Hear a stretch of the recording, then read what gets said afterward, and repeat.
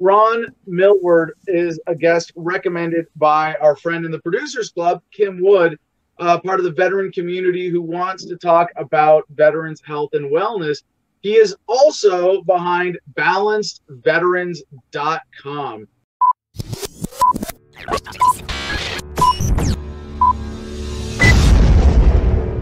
Balanced Veterans, their mission is to create a safe space for the education, empowerment, and advocacy of alternative therapies for veterans. We partner with professionals, businesses, and other organizations to support veterans and their families in living a better, more balanced life. Now, as a veteran, a combat veteran who's dealt with PTSD myself, uh, as, as, as a pundit, as a, as a journalist talking about COVID 19 and, and concern about what everybody's experiencing right now, as someone who has done everything I think reasonable to to get uh, my fans and audience to know that yes, there are 22 veterans still at least committing suicide every day in this country. That is an underreported number. Uh, that there are a lot of things that just don't get counted as suicide. I mean, when a veteran, uh, you know, drinks himself into a stupor and then wraps his car around a tree because he's hopeless and goes, "Well, I might as well die tonight." Pretty sure that should be counted as a suicide, not even if it's an accidental suicide, whatever you want to call it. There's a lot of that in the veterans community, and especially right now with COVID and lockdowns and shutdowns and a whole new dark cloud over the world, we are seeing some disturbing numbers where a lot of veterans who are on the edge are just getting pushed over it right now. A lot of the lifelines that were keeping veterans from committing suicide are not functioning.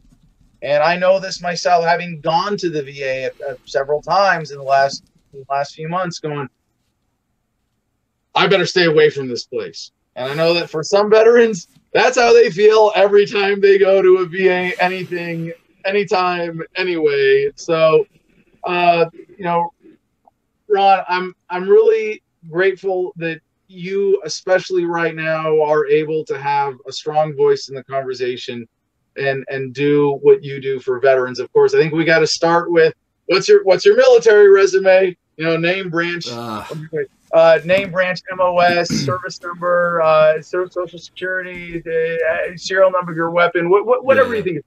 The typical veteran bullshit. What if we didn't do that? You know, uh, but no, yeah, but you know. No, but it is, I know, I know. We want, I know, we want to, to to get past militarism, but I just, what is your common experience?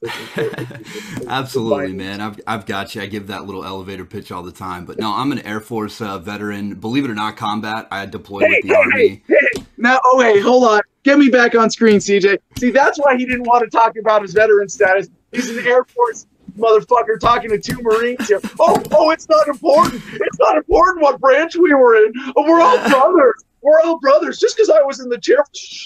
Yeah, no, there it is. There it is. Chair Force, right? hey, I actually have a, a, special hello from Mike Whiter. He told me to tell you hello. He's basically my neighbor. We hang out quite a bit, and uh, just wanted to wanted to say hey. But yeah, man. Um, I was an Air Force veteran, uh, deployed with the Army, uh, did did my stint, but you know, uh, eight and a half years, uh, and I got the E five, got out. I voluntarily separated, um, but you know, I was completely mentally messed up, as a lot of people are. You know, what the was transition. your deployment experience? Yeah, so uh, I was in Iraq in 2010, uh, running convoys with the with the army. Uh, so basically, supplies from Kuwait through any base, all the forward operating bases in Iraq, we we hit them all. Uh, so you know, IED, small arms fire, all that yep. crazy shit. Yep. Um, no, and, and, hold on, I, I want to back you up on this one, Ron, because uh, you know I I think people understand that a lot of this teasing is just that. But uh, and and there's there's there's good reason for it when we're talking about the Air Force.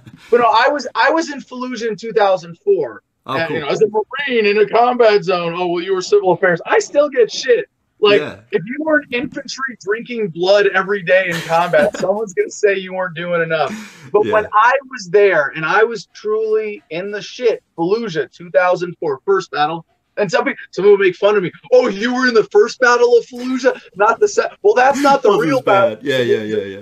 Oh God, okay, but yeah, there there were Air Force dudes deployed, legit in combat, doing pretty much the same shit we were. So it's not at all uh, you know, something that you should discount. Oh, he was in the Air Force. He didn't get real combat experience. No, there, there were Air Force dudes, and it's dumb. It's. I'm not saying this makes sense. I'm not saying this is good policy or military organization, even or taxpayer dollars well spent. But yeah, there were Air Force guys who were really boots on the ground.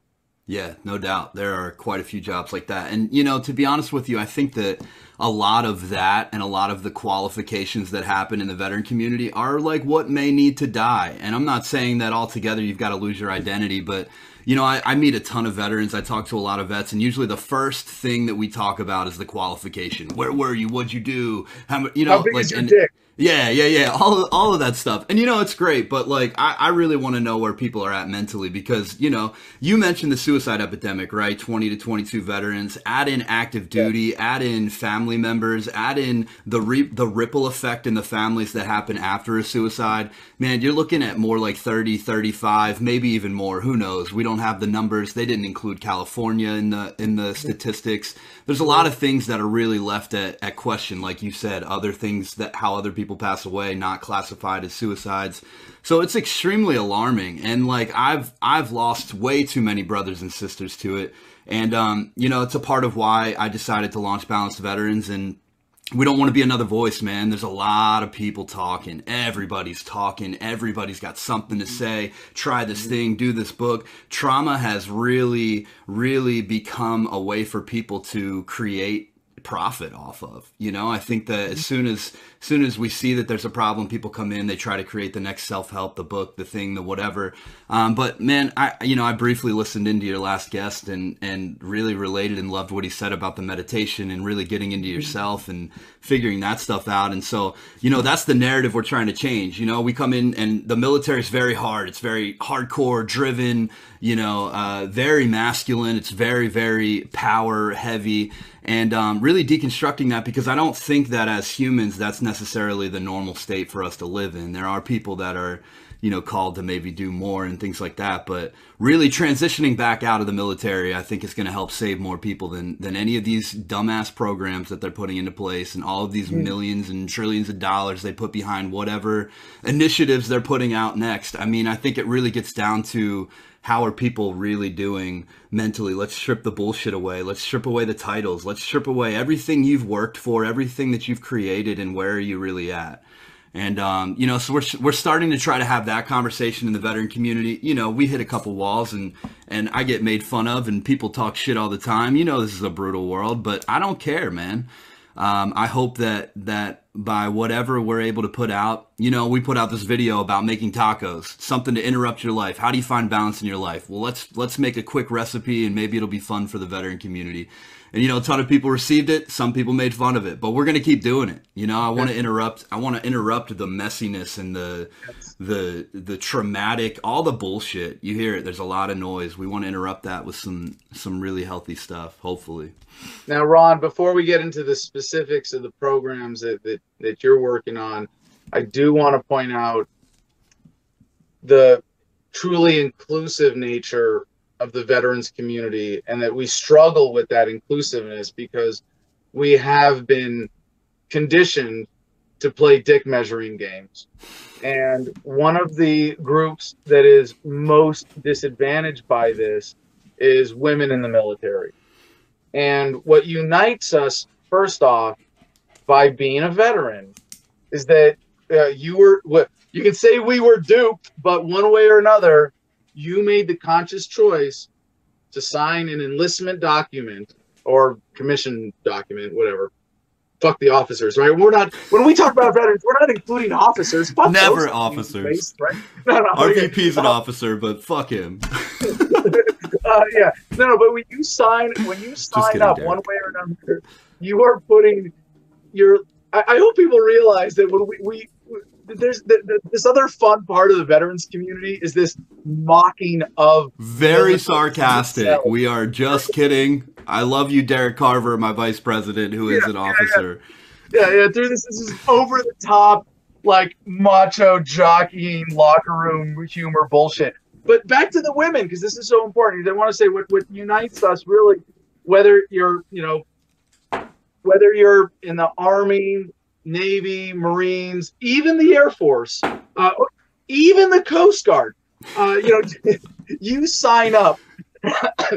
Space Force is a thing now, so get oh, ready. Space Force, no, no, fuck that shit. No, that's not the military. But uh, no, if you, what what you're doing is is putting your life on the line for the government, with the understanding that this government can spend your life on behalf of this country. That's the mm. that there's no, no matter what your interpretation of that is, whether it's honorable or naive or or you know whatever selfish, it, it doesn't matter.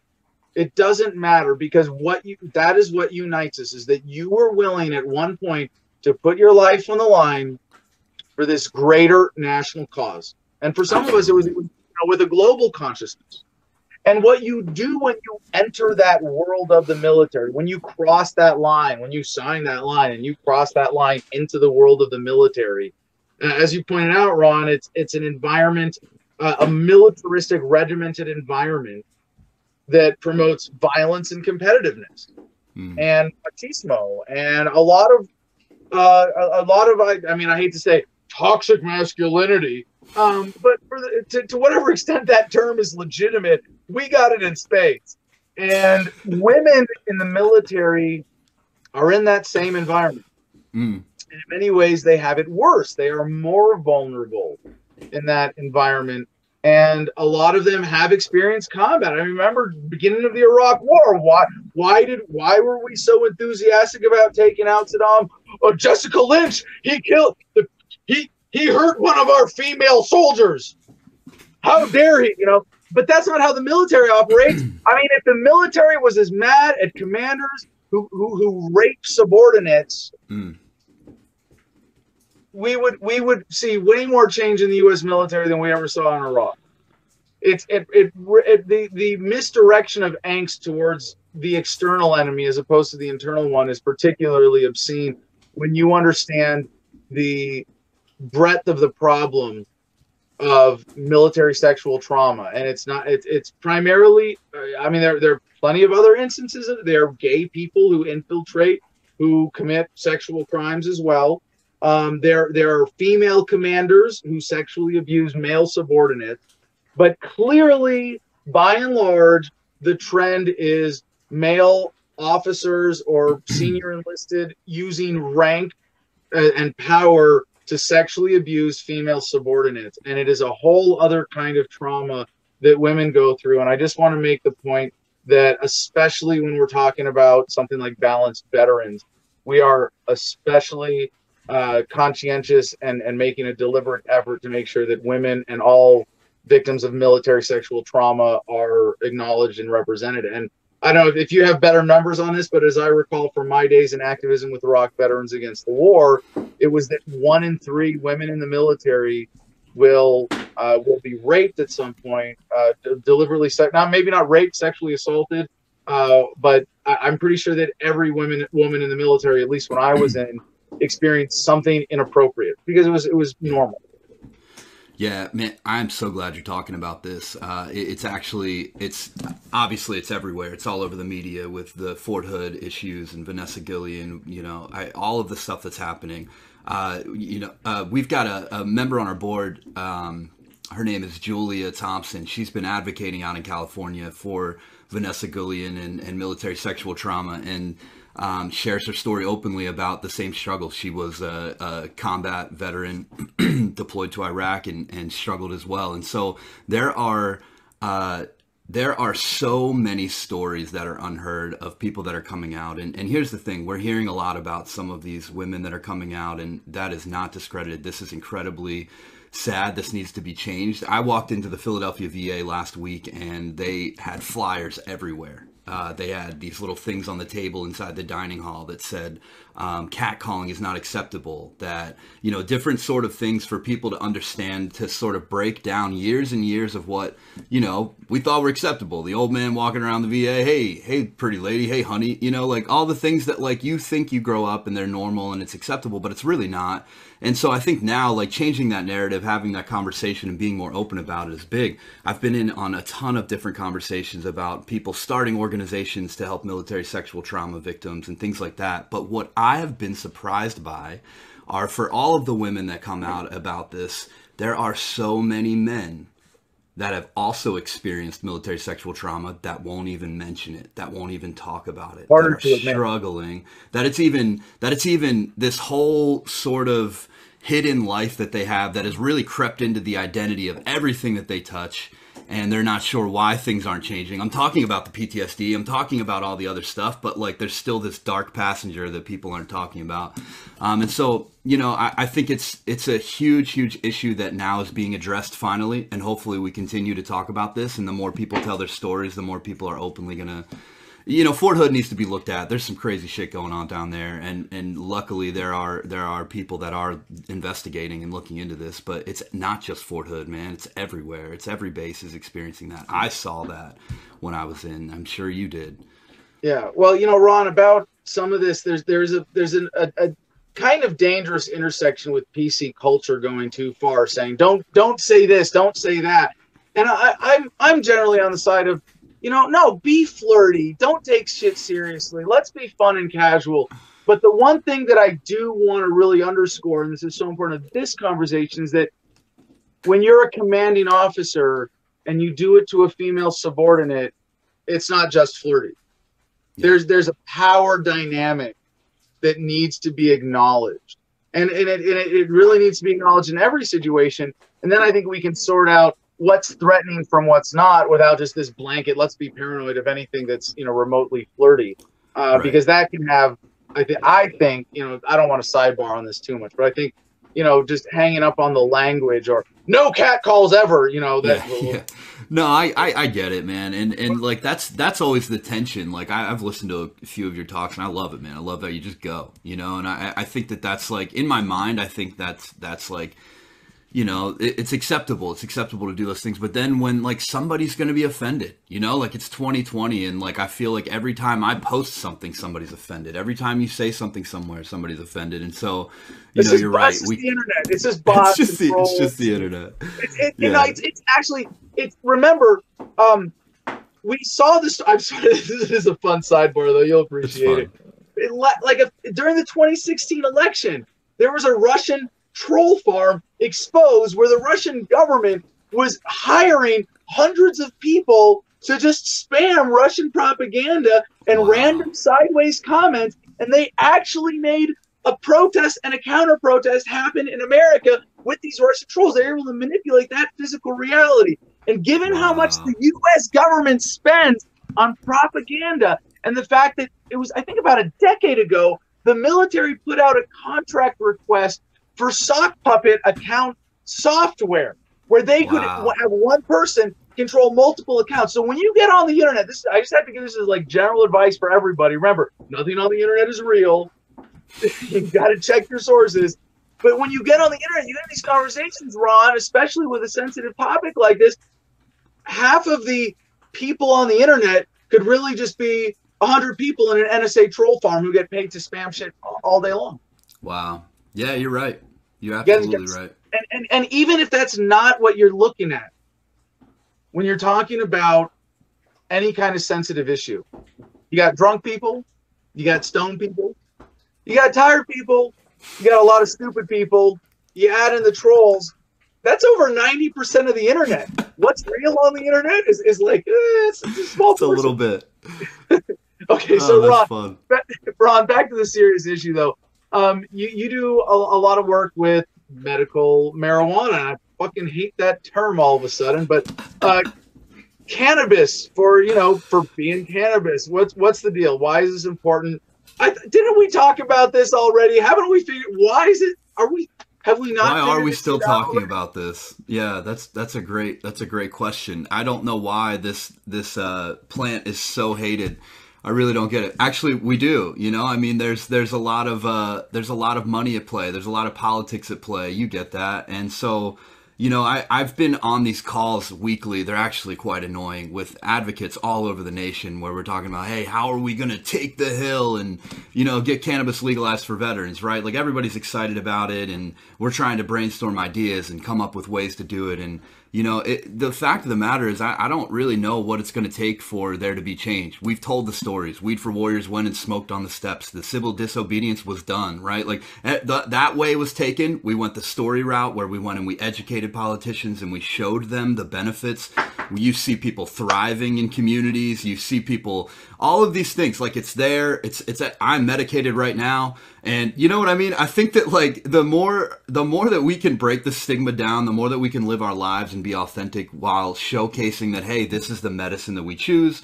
You know, it helps. I think that it's the general population. I think that it's it's a change in mindset that a lot of people have. I've I come from Amish country, Pennsylvania, right outside of Philadelphia and where you go home, there's a very different view on medical marijuana, cannabis, than there is just an hour away in Philly where it's decriminalized and, you know, you're going to get a ticket for smoking on the street. In Lancaster, you're going to go to jail. Like there are there are different there are differences just an hour away, and so it's really like people just not understanding the actual benefits of it. So that's part of what Balanced was. We uh, Balanced Veterans. We started to partner with. Um, one of the larger dispensaries in the state of Pennsylvania to provide education for people. So we're doing these veteran education series where we say, hey, some of the common alarming issues that veterans face, here's how CBD, THC, uh, all of the different components and compounds found in the plant, which people just think, hey, it's just weed, it's just cannabis. Man, there are so many different compounds that turn this thing into a really, really multi tool of a medicine. And so uh, trying to educate on how to use some of those things like for sleep and for anxiety and PTSD and some different things. No, it's not the cure. It's not the fix for everything. Um, we really think that incorporating a lot of other things is important. And that's the, the, the, what it takes to live a balanced life. It's not just one time, one thing will fix it all.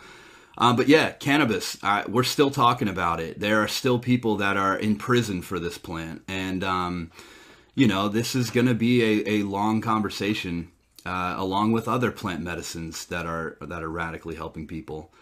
So, uh, you know, I don't know. I don't know what it's going to take for for people to understand that there this could be a major tool in the suicide epidemic, in the common veteran issues, to to be able to gain more access to this plant.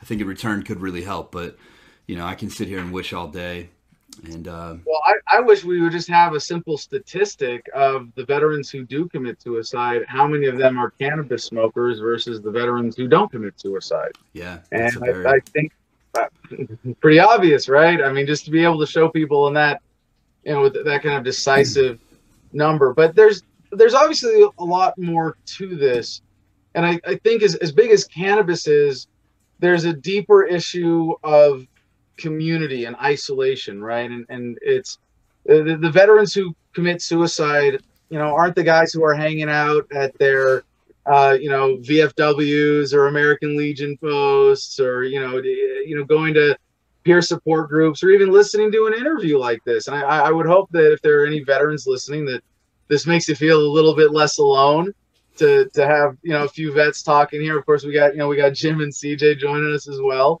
but uh, and, and anybody in the audience i think this would be a great interview uh, to take some questions from the audience on. So if you guys have questions for ron or me or about veterans in general or anything else you want to point out to help strengthen the community put them in the comments. Jim freedom will get them up on screen here in just a few minutes. Before we get to that uh, ron i, I want to go back to covid. Uh, uh, i'm sorry the virus which shall not be named so that we don't get censored on youtube uh, but no, I want to. yeah, right. The, the, this dark cloud over over the world right now, um, that is, you know, like I said, the, the thing I think that contributes to veteran suicide most directly, aside from the military experience, it's the isolation that uh, a lot of vets experience when they come home. Um, part of it is having an experience that their families don't relate to part of it might be having an experience that they're ashamed to bring to the veterans community for being judged. Uh, like I said, especially you know MST victims, but right now, I have been hearing. Uh, you know what? I want I want to give I want to give some credit to someone specifically and and, and share something uh, very important. And this is just a random thing that I got on on Twitter actually, and it's it's really uh, not often that I, I even get to reference something that's that's kind of behind the scenes like this. But I this is I'm not even going to say who this is from. This is just an anonymous person I met on Twitter. Send me a message. The amount of suicidal ideation calls I get from vets is really high and rising. Mm. Like, wow, okay, who are you? So, oh, geez, what's happening? He said, so I can't talk about this publicly or I will lose my job, but I take notification calls for the VA when a vet goes into the ER at a non VA hospital. When I started, I would get one or two suicidal ideation calls a week. Now, I get two to three a day. Jesus. And I'm just one rep out of a few hundred. Now, I can't verify this, but I don't have any particular reason to doubt it. If this is an insight into how much worse things are getting for veteran suicide right now, and no one's talking about this, it's not being reported. You know, people are, are, are the mainstream media is so busy denying that there are any consequences to these, you know, ever loving government lockdowns and shutdowns for our own good in the name of a virus with a lower mortality rate than trying to spend a 20, counterfeit $20 bill in Minneapolis, just as an example. Um, but I, so I, I, wrote back, oh, fuck, wow, anything else I should know about this? Any public numbers? And uh, this person wrote, some of the rise in numbers is due to the fact that the VA is actually doing really good uh, coordinating care right now there's a genuine effort to improve the system, and that is leading to us catching suicide attempts before they succeed. But if attempts are up this much, successes will be up too. I just can't prove it, and I'm not willing to risk my job and my family's security. I mean, just just that in and of itself, wow. that we that the, the, the bureaucracy that is there to take care of veterans is still a government fucking bureaucracy yeah. that hides mistakes faster than it exposes them. And an individual like this in this situation has to say, I can't, I can't even speak out. I can't even call attention to this. Um, so he says, uh, every week I'm helping veterans maximize their benefits and get the help that they need and getting paid pretty good to do it. I don't want to risk that. And it's like, well, yeah. fuck. The government is stealing from the rest of us as taxpayers, stealing from the rest of the world, from the American military empire that has allowed mm. uh, us, as citizens of the empire, to enjoy the fruits of so much applied economic leverage. And and it's like, oh yeah, you've bought. He's, he's openly saying the government has bought my silence on this. Wow. I, I can tell you that when I talk to actual vets about about it, they are telling me that the lockdowns are the biggest cause. Some of them also say the protests are causing mental health issues. mostly complaining about people kneeling, which I think we both agree is a shit reason to be upset, but whatever. And, and, and I get it. If you if you don't have the perspective to untangle that, and all that flag means to you is the thing that covered your buddy's coffin, and mm. and and the president says, well, they're disrespecting the flag. Yeah, okay, you're going to be upset. It kind of kind of makes sense.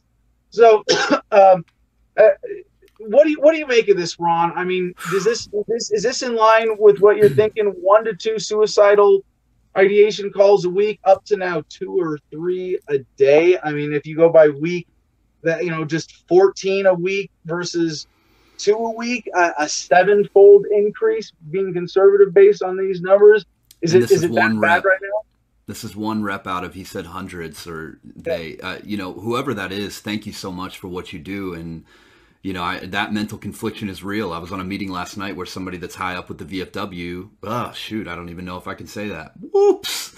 Rewind that. Somebody high up with an organization talked about some other things that were going on that were really shady as well. And the same sort of thing applied where they, they were being bought for their silence. And that will be exposed. That will be come out. You know, veterans don't play around, right? So we can do it for so long. We can see that there's some, some messiness happening, but at some point somebody's going to come out and say some shit because at the end of the day, that suicide epidemic is not going to stop by these these organizations doing what they're doing, right? Like there are some major veteran organizations collecting millions and millions and millions of dollars doing absolutely nothing to help actual veterans or do anything boots on the ground, right? So that was another reason why we came in as a as a liaison. We have no affiliation with the VA. I've got no affiliation with any sort of government agencies other than the PA Department of Health.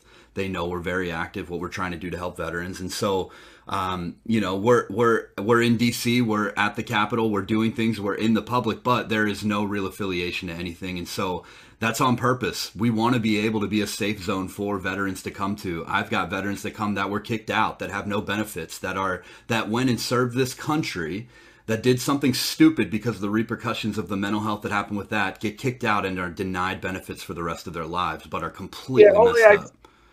For people who aren't veterans who don't understand exactly what Ron said, I do want to explain that a little bit. Is that this is a very common situation where someone is deployed with the military. You don't think about this if you go, oh well, you deploy, you come home, right? No, no, no. You deploy, you go back to regular active duty yeah. with PTSD. And then instead of the military acknowledging that they fucked you up or that your experience you up, they just expect the exact same behavior and conduct out of you.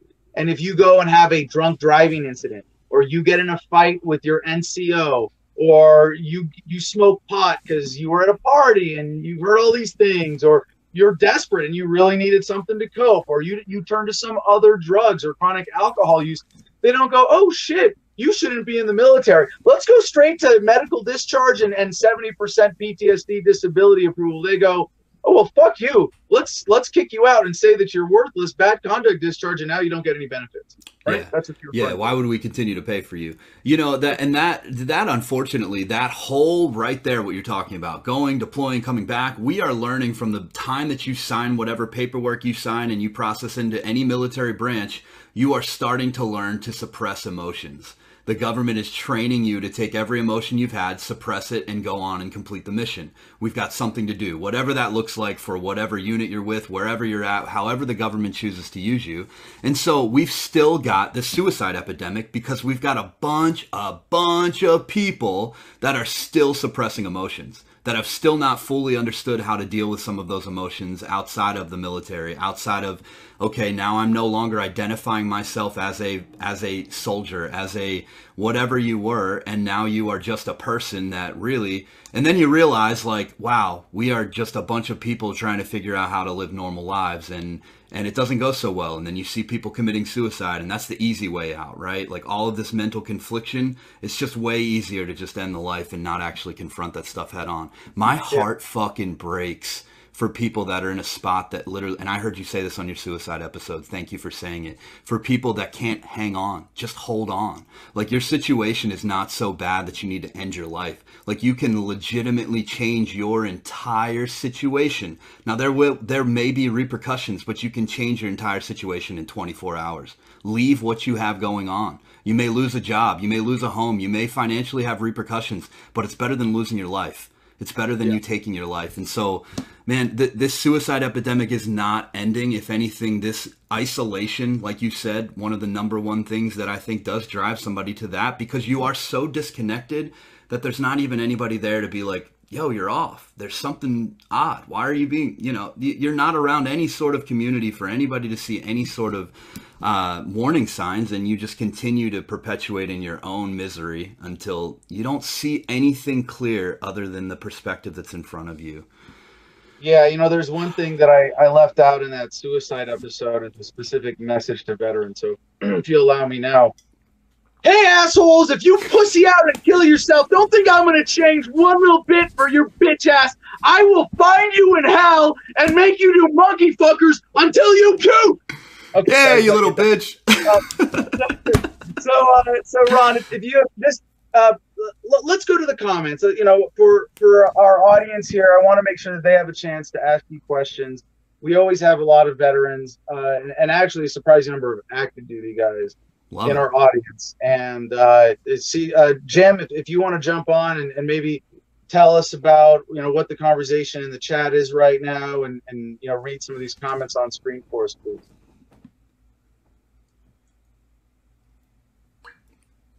Pretty. Uh, at oh, I was muted. Sorry. Uh, we don't really have any comments per se directed at either one of you. Everybody's uh, pretty invested in listening. I think it's a hot topic and I think people just don't know what to say about it. you know. But D. Vincent W. I mean, says something. No, I, I, don't have any questions. That's what I was saying there. I put on there if anybody has any questions to use at Ron or at Adam, and uh, we'll get their questions put on live. But nobody's taken advantage of that yet. Uh, the only thing I can see that has anything to do with the subject is D. Vincent W., who says, My pop opted out November 11th, 1982. He was WOC 3 first Cav in Vietnam in 65 through 67, and one cost of vet suicide is their children. Dad was Winter Soldier 1972 against war. He's the reason I'm not ex military. Mm. So, I mean, at least mm. that's, you know. Sorry. Yeah. yeah. It's tough. No, there's, yeah, no, and, and I, I want to just connect this to, you know, the, the, the biggest picture I can here. And I, I don't want to, you know, bring too much of my politics into this conversation to say, you know, if you're a veteran, you must eventually become a libertarian because that's bullshit. And that's not helpful for this conversation. I think a lot of people, you know, are tempted to do that. But I, I do want to point out that what what D. Vincent W. just shone a light on right there is that addressing these issues, being able to come out of your military experience and say, well, this was good and this was bad. Let's fix what was bad. Well, gee, when you're talking about the military, the bad is death. The bad is people dying unnecessarily. The bad is humanity held back by militarism, by governments using violence to protect their power, and out of corruption, negligence, fraud, waste, and abuse, killing people and letting people die unnecessarily. And if you if you kill yourself as a veteran, you're robbing the world of the chance to learn from your experience and to help move mm. past this. And you know about what you said, Ron, about you know we are conditioned to suppress emotions. In, in, in an operational sense, that's a great thing.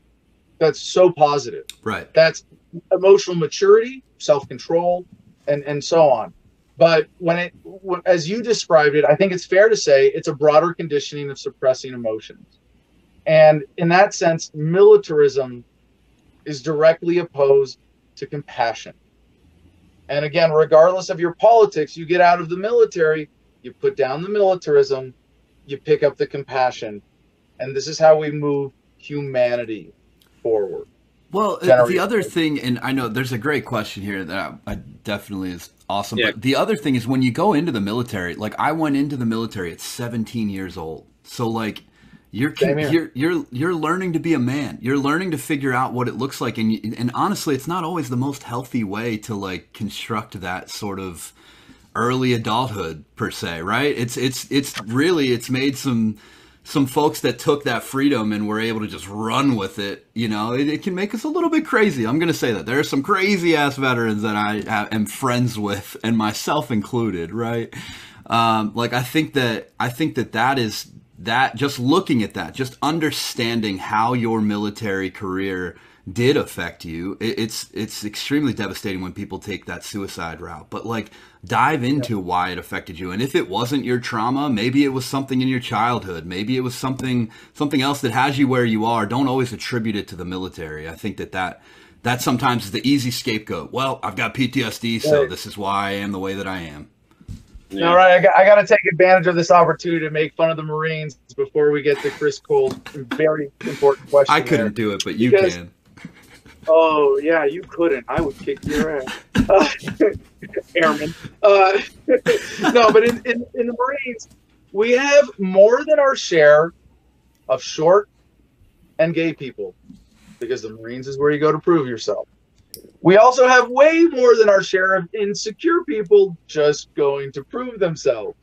And to your point, Ron, if you join the military and you don't already have a strong sense of identity, the government will be happy to issue you an unhealthy one. And to uh, to Chris Cole's question there, Chris Cole is a longtime activist with Victims of Family Law, and that's everybody who's been through a fucked up divorce or mm. child custody or been a child of divorce or had their kids taken from them. Very obviously, family law is an issue that is very swept under the rug in America today. And Cash Jackson, our friend who's a veteran, a Navy veteran, in uh, in Chicago has been a very outspoken voice on this, having his kids taken from him uh, by a family court, appealed to the president himself directly in person, still hasn't gotten his issue resolved. And I, I can't imagine uh, that that's not a confounding factor here for veteran suicides. That if you're a veteran, you come home with PTSD, not only are you dealing with all the inherent issues with that, but if you've got a wife and kids, and now you're failing as a husband somehow in their eyes, and your wife says, "Yeah, I'm, I'm going to take the kids," not going to be helpful. Uh, Ron, are you seeing an intersection with this in your work?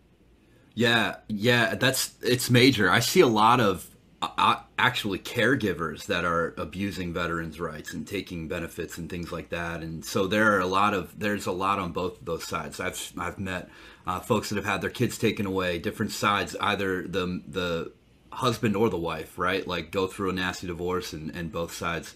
So I, I think that obviously that adds to the traumatic experience of the whole situation, but um, understanding really why that got to that situation is important like I think being able to have representation by somebody like Chris to be able to say, "Hey, there's mental health at play. Let's understand what steps we could take to resolve this." Like we are like I think that most people are afraid to get the help that they need because they're like, "Oh, that's going to result in me losing my kids. That's going to result in me losing everything."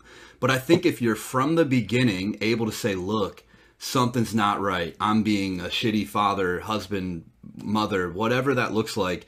And being able to confront that and know that when you get the help like it's actually going to be better for you. It's going to look better for you in court or however that plays out. Like the fact that you did need to get some help you took the time to get some help and you're going through the the proper steps to to do that. But a lot of times things get too far right? There's like something crazy happened. He's punching holes in the doors like the kids we need to go right? So like it's already gotten to this point where it's like that's no longer safe and like they do need to be removed from that situation. But then the veterans left spinning because they're like, that's all I had. That was literally the last thing that I had and now it's completely gone. And so they feel like there's no, you know, no other option. But it, there's always an option. And I think that even in that darkest, darkest spot, having the words, Chris or whoever's dealing with people like that to be able to say, hey, look, like this looks bad, but it it's not. We're gonna get through this. You know, we're gonna figure out a way to move forward. Um, what did he, he just send another part yeah. to it? Jim, you want to? Well, let's let's get Jim back up here. Jim, you want to read that one out yeah, loud? Yeah, it's Chris Cole again. It's a follow up from his super chat. He says they can take your retirement, disability, and more through mm. alimony and child support. People get PTSD from family law VIX law. Many never saw combat. Cash didn't. Wow. Yeah. Yeah. Yeah, I mean, imagine just the trauma of having your. Uh, there's so much trauma associated with with government ripping families apart, and there is a huge intersection with the veterans community. Let's get CJ on stage too here to, to wrap this up.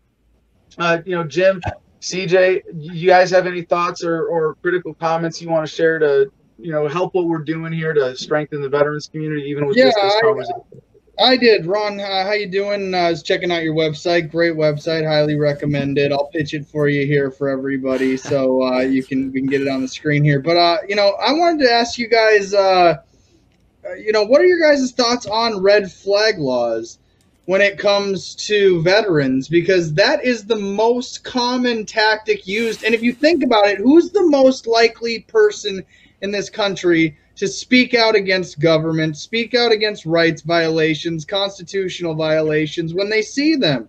And what weapon does the government have in response? Red flag laws. So I was kind of interested in hearing your guys' take on red flag laws and veterans. I think it's pretty obvious that it's one more thing that suppresses people from getting care. Simple as that. Absolutely. You know, and, if you if if you if you own a gun for self defense, and you're capable and handling it properly and safely. But then you go, you know what? Uh, I'm feeling a little suicidal because of my you know, military experience and desperation. I want to go talk to someone about it. Well, you got to give up your gun first. Fuck that. Yeah, uh, and uh, and just real quick to add a point to this though, um, I like taking guns first and then going to court to get the due process. Is quote from Donald J. Trump.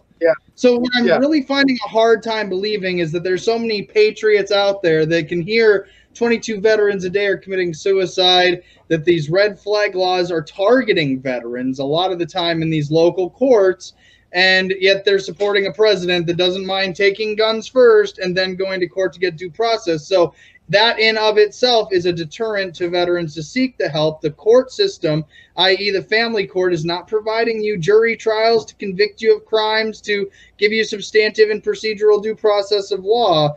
They just take your rights and then you have to appeal, costing tens of thousands of dollars. You lose your rights, your children, everything. Uh, hmm. and, and and and we, I don't question why 22 veterans a day or more are committing suicide. I don't. Idiots do. But but at the end of the day, uh, as a veteran, I can assure you that your service is used against you. And so when people say thank you for your service, to what extent are they really thanking you? Because your government surely doesn't. Your government treats you like you're the expendable meat sack for their corporate wars and their their pharmaceutical contracts, oil contracts, you name it.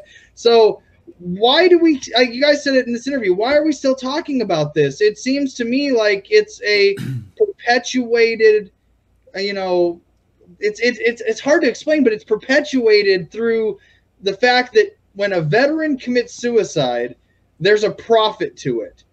And and that's where i believe that there is a cottage industry of, of veterans that are, are groups that are taking advantage of the fact that they get involved in the court systems, they get involved in mental health systems, they get involved in the government, and and then the government turns that against them, and now we see the suicide rate, the homelessness rate. So again, these are all rhetorical statements. I get that, but I, I I'll just end my thought with, I don't. Oh, by the way, here's a here's a good one for you. I've ne- a veteran standing on a bridge and he pulls out his cell phone right before he contemplates suicide and he sees somebody doing a 22 push-ups. He still jumps. Your push-up videos don't help. Stop virtue signaling. It's not helping. You're Yo, no I do push-ups bro. No do your push-ups but stop virtue signaling. It's not helping and yeah. that's all i got for today. Yeah, well, there, mic drop.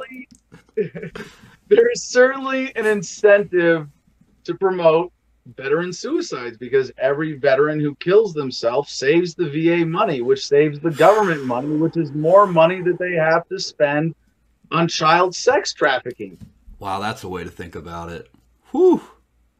Heavy stuff, you know, and I and I, I go that route. I man, I, I I hate to say it, I hate politics. I just do. It's it's just so divisive for people, right? Because especially now, everything's a shit show, right? And and I I am actually I'm exploring libertarians. I love, I, have loved a few of the things that you've said, um, and so I'm, I'm pumped to look into that more. But I, I, I sort of, you know, I look at it like, okay, so I'm a service-connected disabled veteran, right? So there is a financial gain for me to be in, you know, and and different legislation changes that, and and so trying to protect that, like, you know, I, I think at at the end of the day, like I'm in that system now, you know, like if I don't comply or I don't do something, they can take my benefits, they can shut us, you know, whatever that looks like, right? And so you I am trying to get my mind outside of like what we're talking about, how it's like as soon as you get out of the military, you are now in this industry. And, you know, the government's paying for me. And as soon as I would commit suicide or not be here anymore, that's a lot of money for the government to get back. Never thought of it like that, but wow, that's eye opening. It's really eye opening. Well, Ron, I, I, will say one thing to plug my politics here, if you will. Uh, with, with, with libertarianism, it really is anti-politics. I think of politics as the societal argument over who to point the guns of government at to organize society because taxation is theft it's backed up with the barrel of a gun the hmm. drug war is backed up with the barrel of a gun. If you do a drug government doesn't like, men with gun come and lock you in a cage. The good things that government do even are supported by this fundamental violence and coercion behind the system. And the entire message of libertarianism is stop. Fucking stop. Yeah. Stop pointing guns. No, like who do we put? You know, if politics is the question, there, there are a bunch of people in America going, should we point the guns at them like this or at them like this or at them like this? And libertarians come in and say, fucking stop. Stop pointing guns. we're not we're, we're not really politicians. We're not really doing politics. It's it, it really is a sort of transformational anti-political movement. And and I hope that uh, that, that a lot of the veterans, you know, by the way, we have. I will say this, as long as we're talking everything that we're doing in this conversation, uh, we have more than our share of veterans in the Libertarian Party compared to the other two political parties or any other political organization I've been in. And it's not because we're more civically engaged, it's because so many veterans are compelled away from militarism mm. by their experience. And militarism, you know, war is the health of the state. It is the ultimate application of government violence. And we say, you know what, that was bad. You know, for me, the experience of coming home and joining Iraq Veterans Against the War was realizing it's not enough to be against one war. Yeah. It's not even even enough to be against the global war of terror. It's not enough to be against the military industrial complex. It's not even enough to be against militarism itself, but statism.